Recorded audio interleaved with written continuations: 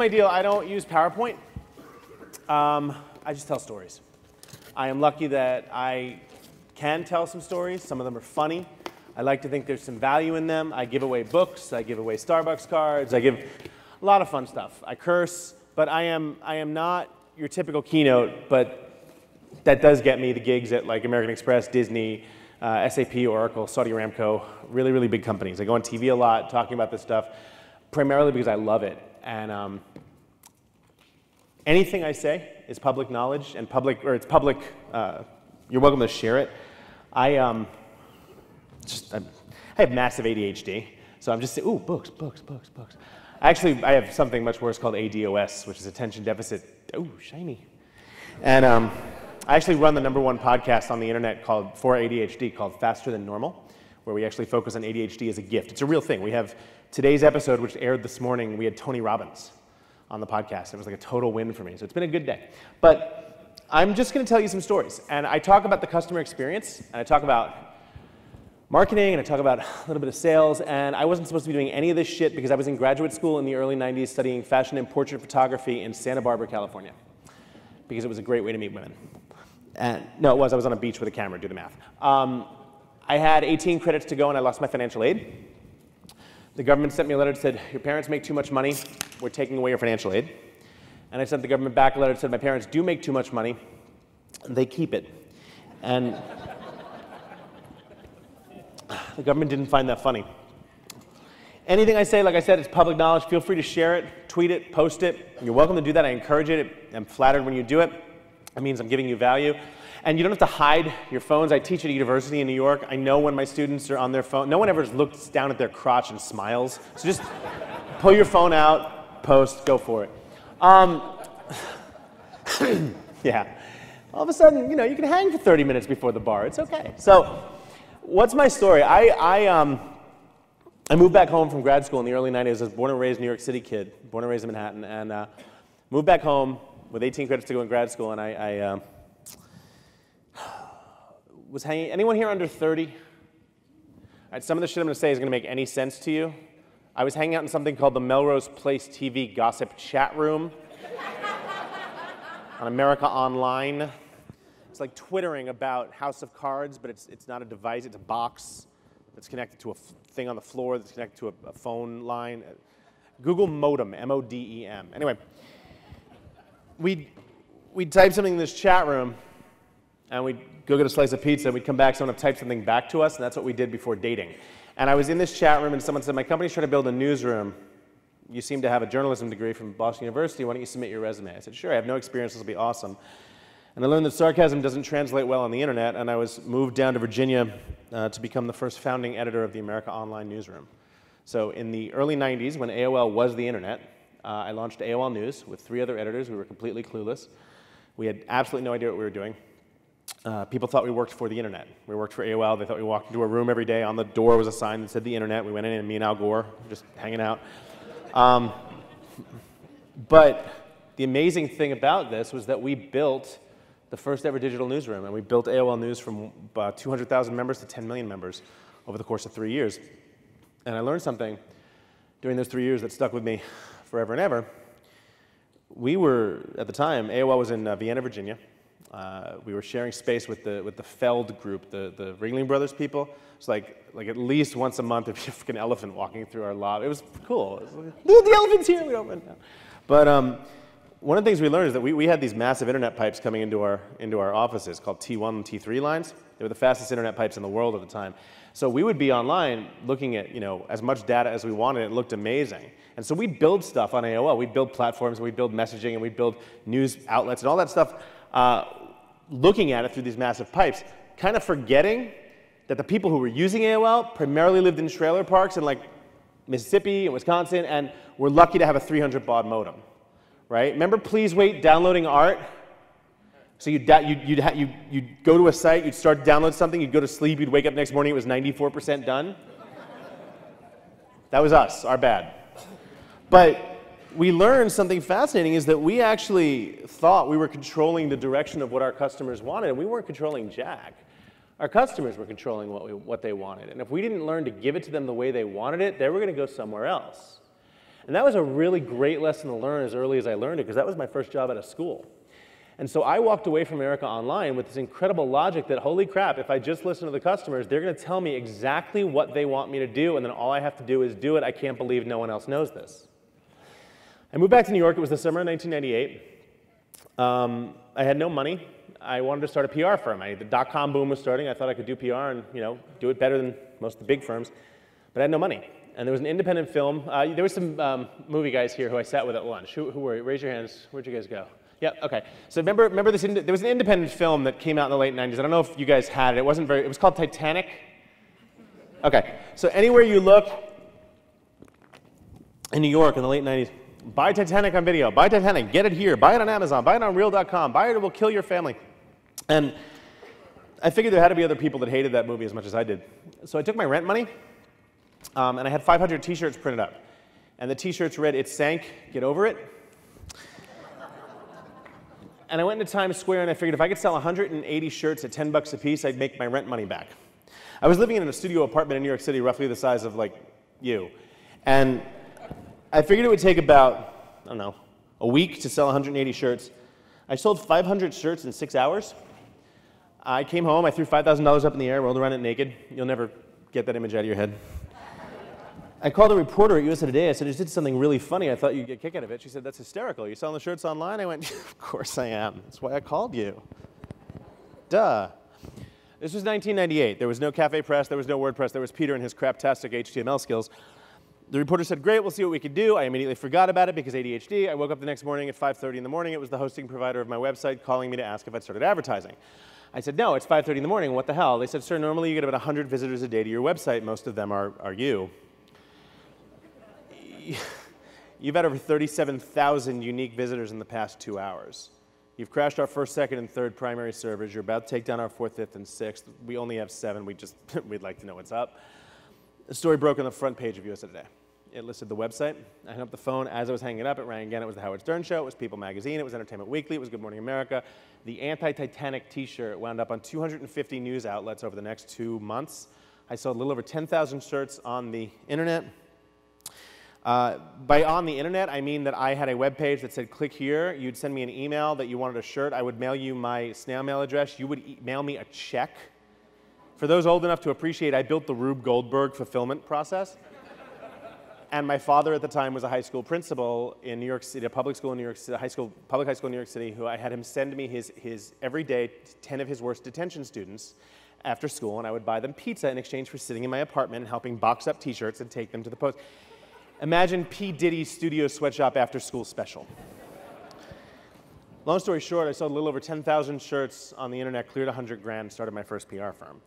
The reason I bring that up, and this is important for you guys, is because if I tried to do that stuff today, you know what would happen? I'd go out, I'd spend my money, I'd have my t-shirts, I'd go outside, and I would, um, the second I held up that first shirt, some 12-year-old idiot with a camera phone would take a picture of my shirt, and within 20 seconds, there would be 15 sites selling my junk, right? Selling my shirt wouldn't make a penny. Brand everything you do. Figure out what makes you different from every single person and company you compete with and brand the shit out of it. Because all you have at the end of the day is your brand. And if someone else decides that they can do your brand better and they do, or they worse, they, can, they can't, but they convince people they can, you're gone. The only differentiating factor you have is your brand. What can you do to make it a little better? Uh, someone's going to, if you're a triathlete in the room, if you've done any form of triathlon in your life and lived to tell the tale, raise your hand, you get a book. Longest distance? Nice, which one? Shit, he caught me. Make up a, make up a fake Ironman. Hurry up. Nice. Okay, so I've done Cozumel and I've done Louisville, and I know that it sounds pass these back over there. I know it sounds like uh, you look at me and you think, no, Peter, you're confused. You've watched the movie Iron Man while sitting on your ass, but no, I've really done, these are for you. I've really done two Iron Man. And after I finished my first one, I was dating a woman at the time who could never understand, you'll appreciate this, who could never understand why I could never have dinner with her. Who was that? Because I was always going to sleep early to train. Or I could never go to brunch. Brunch is a thing for women, and I could never do that because I was always on a 100 mile bike ride. And so I made a video. And if you've done an Ironman, you've seen this video. It's these two robots talking to each other called I'm Training for an Ironman right? And the woman says, you want to get some dinner at 6 o'clock? She goes, I can't. I have to go to sleep. It's 6.30. Why do you have to go to sleep? I'm training for an Ironman.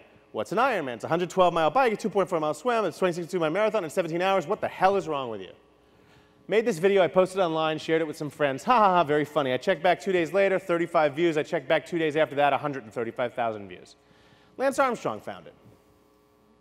This was in 2010, before we knew he was made of chemicals, we trusted him. He shared it with his friends. Hey, cyclists, check this out, really funny shit. He tweeted that. The video has about 2 million views right now. At nowhere in this video on YouTube does it say, for more, see Peter Shankman. Blew my shot. If you've done a triathlon, you know about this video, and nowhere did it say. So guys, brand everything you do.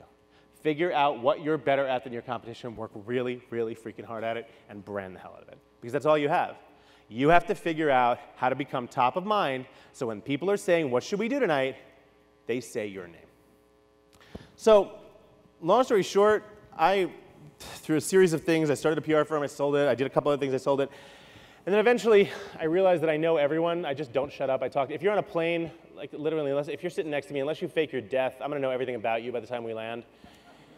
And journalists found this out, and they'd start calling me saying, "Hey, I'm doing a story on whatever. Who do you know?" And so I'd launch. I launched something. Uh, I would help these journalists find their sources, and it started taking way too long. So I launched a company a little mailing list called Help a Reporter Out, or HARO. And HARO lets you, uh, it's a free service, it still is. I encourage you guys to use it if you want some free press. Helpareporter.com. Basically, you sign up three times a day, you get an email from me. You get an email with queries from journalists all around the world. If you can answer whatever they're asking about, you reply to them, you get quoted in the press. Where's, uh, where's my mini golf? Where's my golf girl? Where is she? S sing the praises of HARO.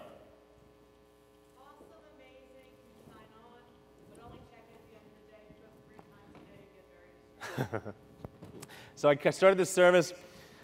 Um, within a year after starting it, for my friends, we had a quarter million members. Within two years, we had half a million members.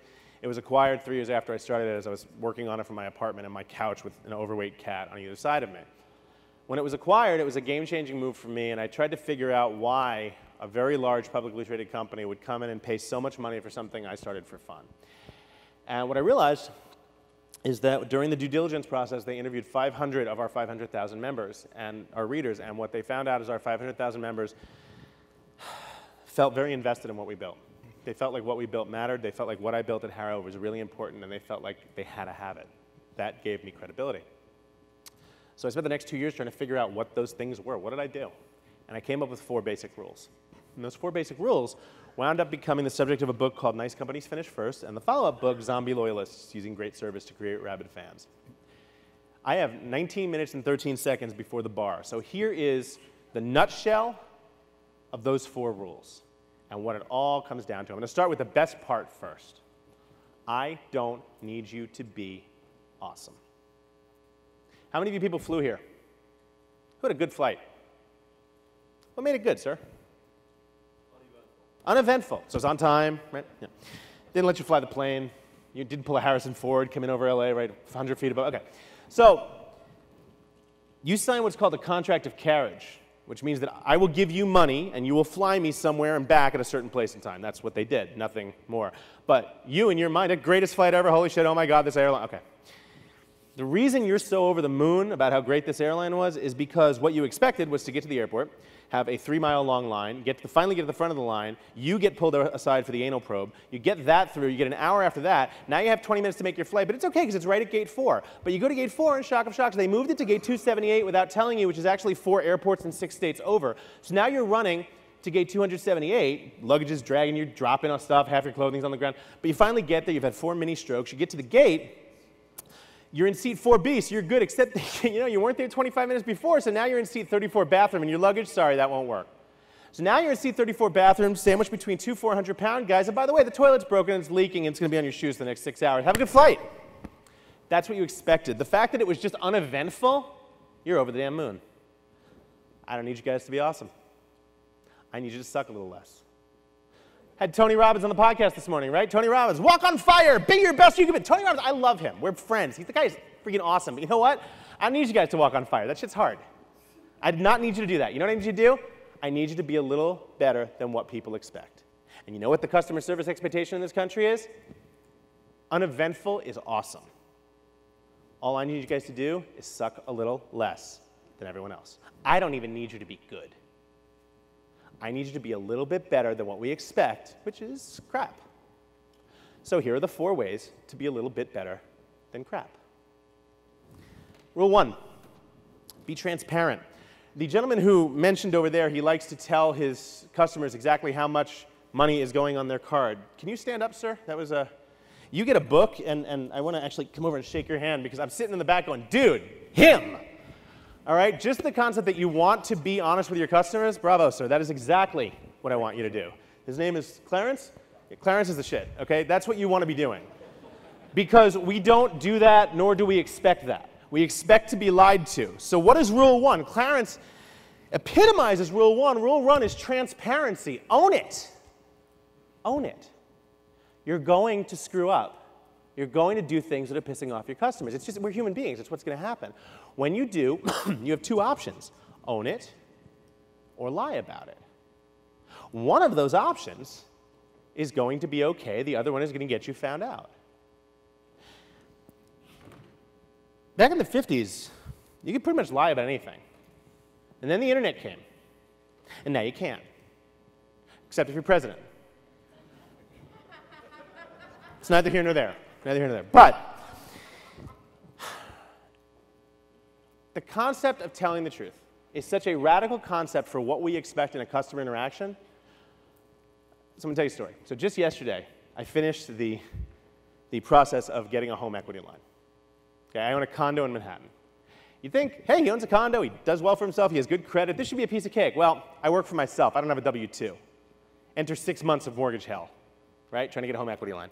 Six months into this thing, I, I, know everything about my mortgage broker. He knows everything about me. He calls me last week. I'm in Florida giving another speech, and he goes, "All right, Peter, we're going to be done with this thing. So I uh, just want to talk to you about that uh, property you own, the other, the rental property, the apartment." He goes, um, "I just need the insurance information and that." I'm like, "Well, it's a, it's a rental property. there's no insurance on that. I just read that out." right, right. I just need the insurance. I'm like, "No, no, I don't. There's no. I own insurance on my condo, the one that I own." He's like, "Oh, that rental property. You don't own the whole building?" I literally looked at the phone and I said, I'm sorry, um, and my assistant, Megan, awesome woman, she was on the call as well.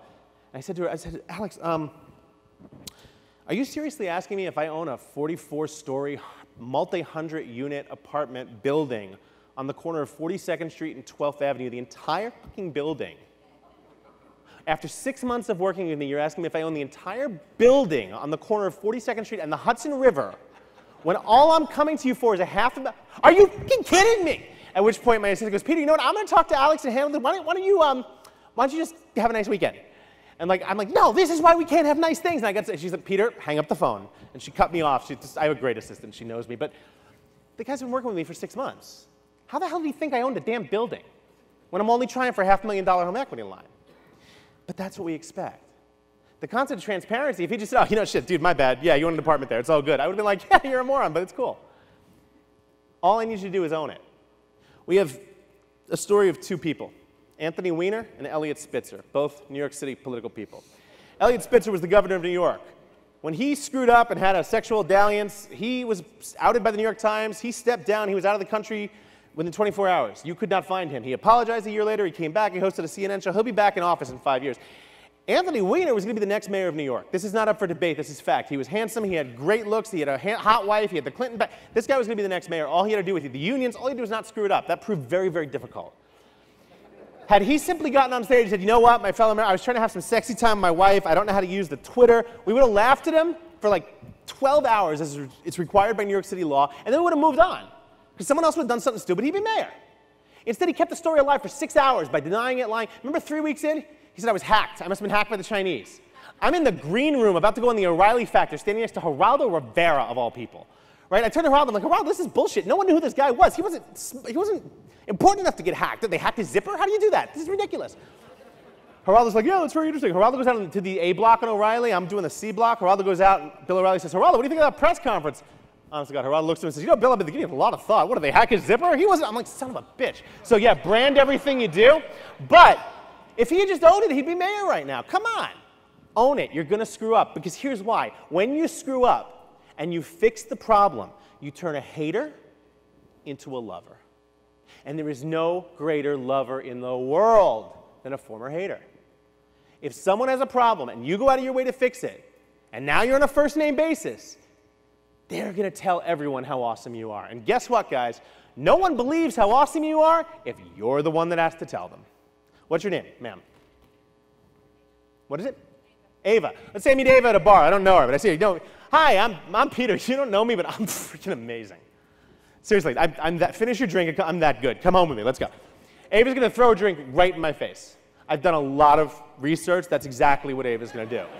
But but if Ava doesn't, if I'm just sitting here over here like playing Words with Friends or some shit, like not even, by the way, Words with Friends, username is Peter Shankman, bring it, I have a lot of time on planes. If I'm just sitting here playing Words with Friends, not even paying attention to her, and her best friends, holy shit, that's Peter Shankman. I heard him speak. He's newly single, he's amazing. You should totally go talk. Let me introduce you. Peter, come on. I'm getting Ava's phone number at the very least. Trusted source. Okay? I somehow impressed her friend, and Ava trusts her friend. No one believes you if you say you're awesome. I didn't do it. It's not my fault. I'm great. No one's going to believe that. If, if she tells Ava, you know what, he's actually a really nice guy, Ava's going to give me a chance. Own your mistakes. Let your audience scream about how great you are. The value in that is a billion times more. That's rule one, the transparency. Rule two is the concept of relevance. Relevance is very simple. How many of you get your news from a newspaper? Okay, I still read the Sunday Times. I like newspapers. Okay, TV, radio, Print, web, blogs, magazine. Okay. Every time I raise my hand, every time I ask something, someone raised their hand for different things. Back in the 50s, we got our news from a newspaper in the morning and the nightly news in the evening. That was it. Okay, like 79% of the, of the world watch the nightly news. Problem is, today's audience is fractured. I get my news from podcasts that download at 3 in the morning. I'm one of those weird, annoying people that's up at 4 a.m. It's, it's the ADHD thing. I got to exercise first thing in the morning. So I'm either at the gym or outside running. If you Google me, I'm the guy that got arrested, no bullshit. I got arrested in Central Park three years ago now for exercising before it opened. apparently, nature closes in New York. I lived there all my life. I didn't know this. And it's, apparently, it's also not the right answer when the cop stops you and has his hand in his gun saying, What are you doing? And I'm like, What do you think I'm doing? I'm sweating him in spandex. It's fourth. I'm giving hand jobs for crack. What do you think I'm doing? I'm running.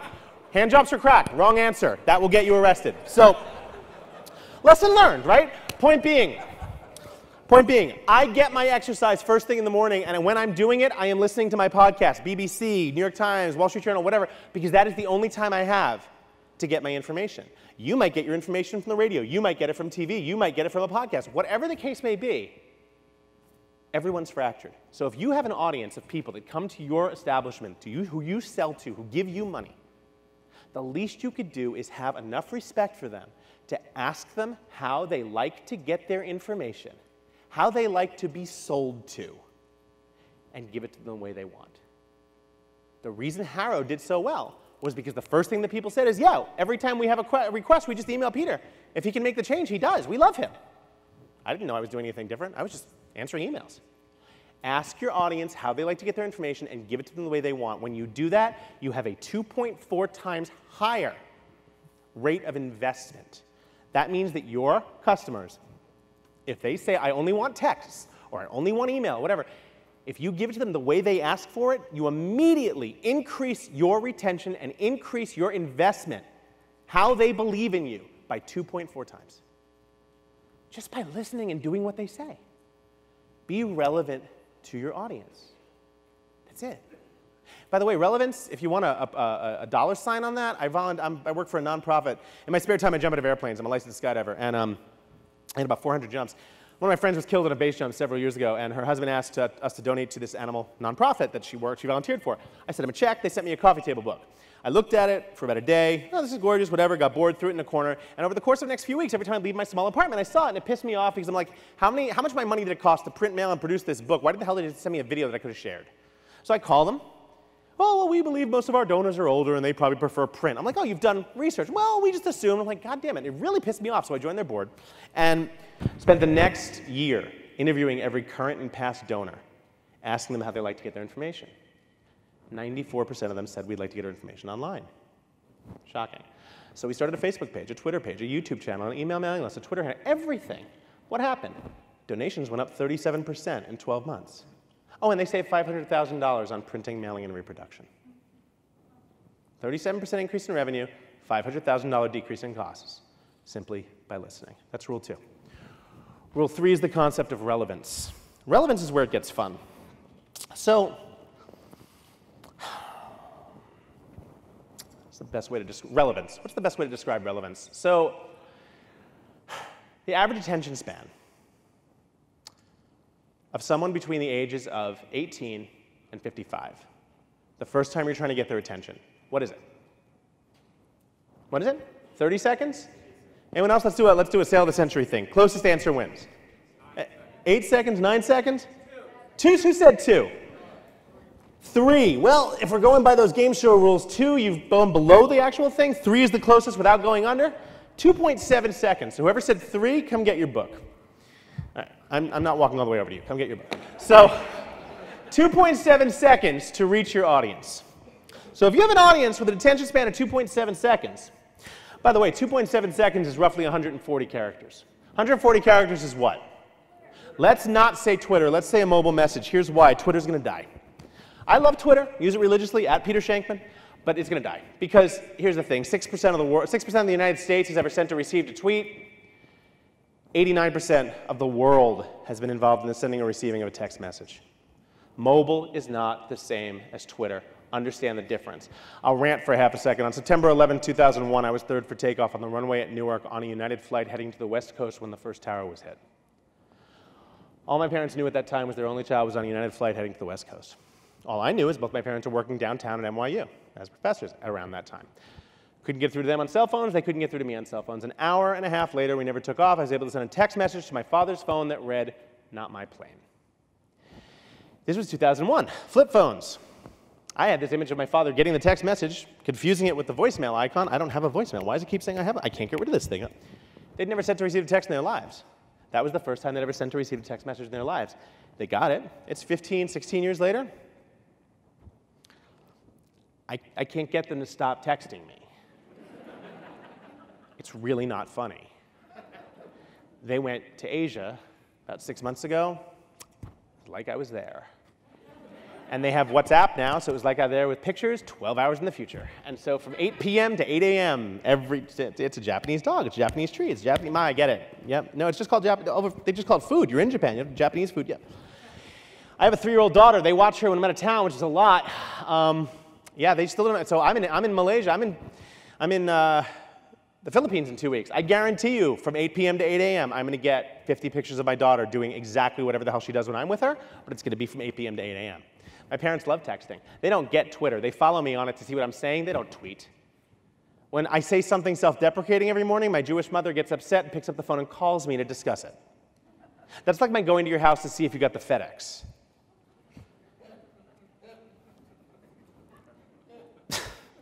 my father just replies like it was a text message, but to Twitter. Not to at Peter Shankman, but just to Twitter. So if you read my father's stream, I remember that. Yes, 42. That was funny. Your daughter, 12. What the? and they're smart people. They're not stupid, but they don't see any value in Twitter. The reason I bring that up and, and emphasize that point, embrace the concept, not the brand. Twitter's bullshit. It's not going to survive. I love it, but it's not going to survive. Mobile is a revolution. Twitter's a pipe.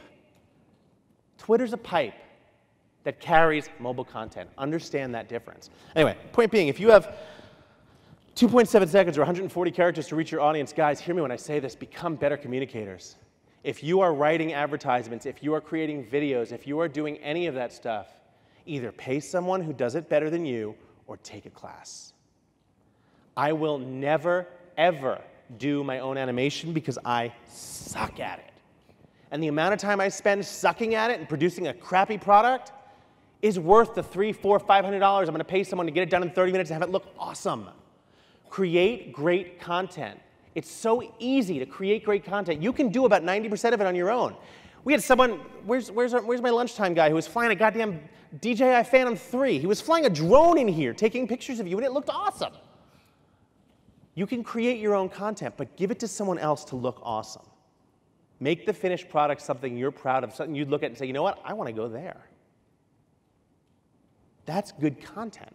Good content forces people to look at it for more than 2.7 seconds. And if you can hook someone in past that 2.7 second mark, they are three times more likely to spend money with you. Create something worth it. And here's an added tip stop trying to create anything viral. You can't create anything viral. You want to create something viral? I have a three year old. Let me tell you something. She's viral. I live with a goddamn petri dish. I'm sick every week thanks to this kid in her damn preschool. You want to create something viral? Don't. Create something good. Focus on building good quality content. It'll go viral automatically. That's the difference. Good stuff goes viral. Bad crap is called viral. It's totally different. Embrace the concept, not the brand, and create good content. That's rule three. That's brevity. Rule four is the concept of top of mind, and this is where everything fine tunes into a point. So, back in the 70s, um, for my movie theater people, back in the 70s, there was a guy named Barry Diller. What was he the CEO of in the, in the 70s? No. No. Come on, no. Keep going. Begins with a P. Thank you, Paramount. Barry Diller took the helm at Paramount in 1974. You know what Paramount was in 1974? About 11 inches from bankruptcy. It was the worst studio in Hollywood. They literally were dying. Barry Diller came out of being an agent and went to Paramount, and everyone said it was career suicide. And he did two things differently than any predecessor before him at Paramount. Barry Diller reached into his Rolodex. Rolodex is like Outlook, but it was cards, you'd turn it. Okay. He'd reach into his Rolodex and he would call 10 random people in his Rolodex every day just to say hi. He didn't try to sell them on anything. This is my special secret, top secret business card that's also a Starbucks card because I've been giving you shit all day, so thank you, enjoy that. Um, he would call 10 random people in his Rolodex just to say hi. He wouldn't sell them anything. Hey, it's Barry. What are you working on? How's the weather in LA? What's going on in New York? How's London? What can I do? How can I help you? How can I help you are the five most underutilized words in the world. What are you working on that I can help you with? I'm not trying to sell you anything. If you're in Barry Diller's Rolodex, four times a year, you get a call from the head of Paramount just reaching out. When you're in a movie, you want a greenlit, or you want an actor, you want to sign to a five picture deal, you could have gone to 20th Century Fox or Warner Brothers or Gulf Western and tried to get them to call you back, or you could have just called Barry, for God's sake. He called you two weeks ago. From 1974 to 1987, when Barry Diller left Paramount, he was responsible for such films as Flashdance, Beverly Hills Cop 1 and 2, uh, Officer and a Gentleman, Three Men and a Baby, um, the list goes on and on. Uh, Ghostbusters, I think. He fundamentally changed Hollywood. He created the first billion dollar studio in Hollywood by calling people back. I don't need you guys to be awesome. I need you to be top of mind. Top of mind is reaching out, is figuring out who those customers are who come every damn Friday with their kids. And you know what? Being there at 6:30 p.m. when the dad drags his three daughters in because his wife has girls' night every other week, and he comes in and he's just a zombie because he has no idea how to take care of these four girls. So he brings them in. Maybe you help him out right? Maybe you take your best hostess, who's also 17 and babysits in her spare time, and assign them to her, to him for the night, right? So he gets a break and he can actually have a beer and not worry that they're being attacked or something. Maybe you do something just a little bit better. And here's the best part about this, guys this doesn't have to cost anything. I'm not coming in saying, yeah, you can fix all your customer service problems for 34 cents on the dollar. Bullshit. A smile is free. Understanding your audience is free. Being a little bit better than what we expect is free. But the profit center on it is monstrous. So I'm going to leave you with two stories that define this. First story I travel constantly. I do it a quarter million miles a year. And I am very, very loyal to United Airlines. And I love United. They are a great airline. I, I, they treat me very well. I'm what's called global services with them, which means that I can leave my apartment at 5:45 a.m. for a uh, 6:15 a.m. flight. Right? They take very good care of me. At the end of every flight, they send me a little email. It says, "Tell us how we did." You know, and it's we, we care about your opinion. Yet the email comes from you know, "Do not reply." We care about your opinion. Tell us about our flight. And I always say, you know, great flight, easy piece of cake. I took it this morning. Last line of the email. Tell us what we could do to make your next flight even better. As of this morning, it's been 442 flights in a row. I have responded with the same line. On my next flight, please refer to me as Peter, Lord of the Skies. Now, here's the thing I don't expect them to do that. But you know what would be nice after 442 emails with the same exact line? I would love a phone call. Hi, Ms. Shankman? We're not gonna fucking do that. Stop it. Just, you're an asshole. Cut it out. Anything to tell me that they're listening. Because my flights are pretty good, because like I said, they treat me really well. But what if I have five really bad flights in a row? And I do have a problem. Am I gonna leave United? Probably not. But you know what they're doing? They're opening a door. They're opening a door for Delta or American. If I tweet out, oh my God, fourth flight in a row, what the hell, United, get your shit together. I guarantee you someone at Delta and someone at American are following me. And there's a little bit of ambiguity there and a little bit of disingenuousness. The fact they haven't, in 442 emails, said one thing. If Delta should show up, Mr. Shankman, hey, how's it going? Yeah, heard you having a problem. Want to try us? We'll match your status. We have drugs, whatever it is. Am I going to go? I don't know. But they're opening a door. Be real. Be real to your audience. That's the first story. Second story, and then I'll close. I, I see it. Jim's back there. He's like, hurry. Okay. Here's my second story. Put up that last slide. Put up the one slide. So I told you I don't do PowerPoint. I have one slide for you that I want to show you guys. So I wouldn't, this, none of this crap would be real if I didn't eat my own dog food. That's my actual cell phone number. It rings to this very phone. I encourage you to text, text instead of call. I, in a perfect world, just let's just text, okay? Um, but text me, reach out to me. That bit.ly.com notes for PS. That's my mailing list. Um, if you text Shankman to uh, 4422, I don't know what the hell. Just go to that. Point being, I answer on my own email. I answer on my own cell phones because I think it's the right thing to do.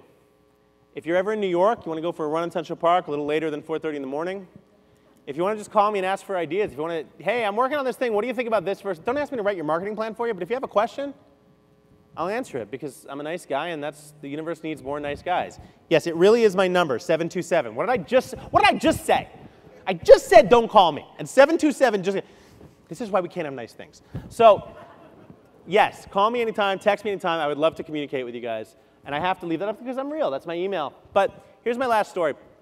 I was flying, uh, I landed in Phoenix a couple of years ago, and I had a, um, I had a uh, rental car from uh, Hertz.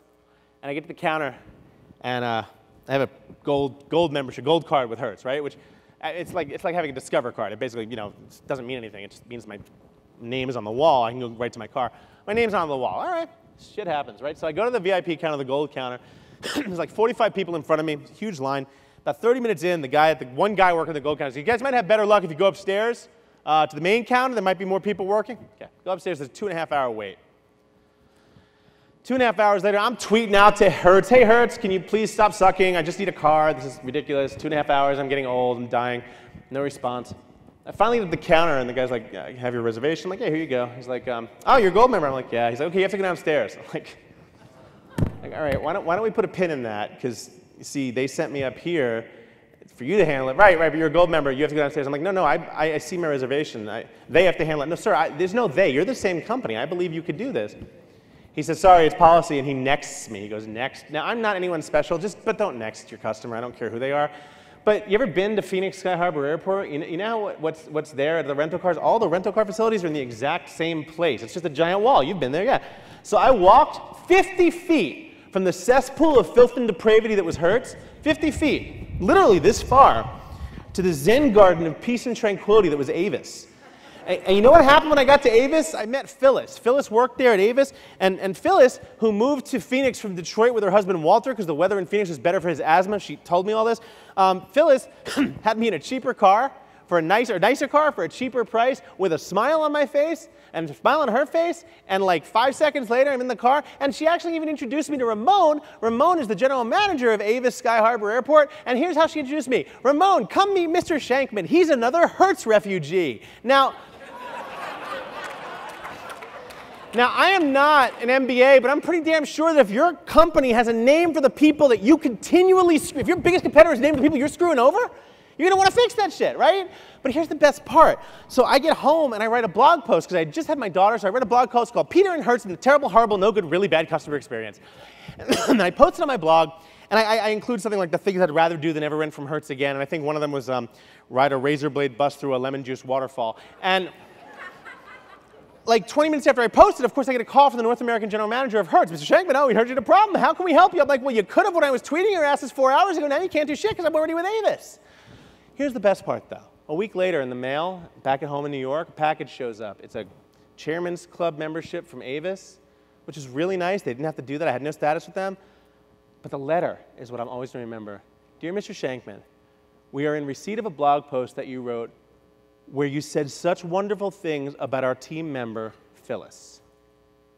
Not thanks for trashing our competitor, not thanks for making me look good, but thanks for taking care of one of our own. They then, no bullshit, they actually spent the, next paragraph telling me that Phyllis moved there from Detroit for the weather and the, her husband. I'm like, yeah, I get that part. do you think I'm ever going to use any other rental car but Avis? And here's the thing how many times do I tell this story? How many times do the parents who have the three, the father who has the three daughters, when her mom goes out that night and has to drag them to your place and they have no, he has no idea what to do, he has a great experience? Who are that dad's friends? Hannibal Lecter in Silence of the Lambs said it best We covet what we know.